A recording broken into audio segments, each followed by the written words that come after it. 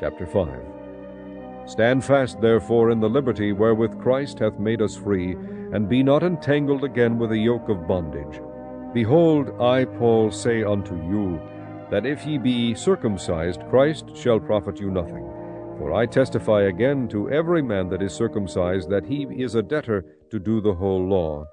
Christ is become of no effect unto you. Whosoever of you are justified by the law, ye are fallen from grace. For we through the Spirit wait for the hope of righteousness by faith. For in Jesus Christ neither circumcision availeth anything, nor uncircumcision, but faith which worketh by love.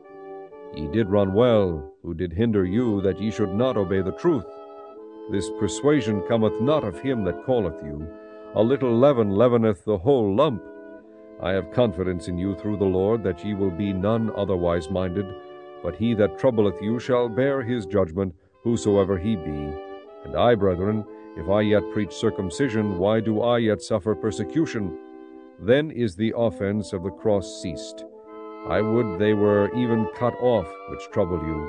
For, brethren, ye have been called unto liberty. Only use not liberty for an occasion to the flesh, but by love serve one another. For all the law is fulfilled in one word, even in this Thou shalt love thy neighbor as thyself. But if ye bite and devour one another, take heed that ye be not consumed one of another. This I say then, walk in the Spirit, and ye shall not fulfill the lust of the flesh.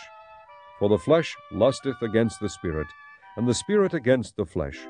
And these are contrary the one to the other, so that ye cannot do the things that ye would. But if ye be led of the Spirit, ye are not under the law. Now the works of the flesh are manifest, which are these adultery, fornication, uncleanness, lasciviousness, idolatry, witchcraft, hatred, variance, emulations, wrath, strife, seditions, heresies, envyings, murders, drunkenness, revellings, and such like, of the which I tell you before, as I have told you in time past, that they which do such things shall not inherit the kingdom of God. But the fruit of the Spirit is love, joy, peace, long-suffering, gentleness, goodness, faith, meekness, temperance. Against such there is no law. And they that are Christ's have crucified the flesh with the affections and lusts. If we live in the Spirit, let us also walk in the Spirit. Let us not be desirous of vain glory, provoking one another, envying one another.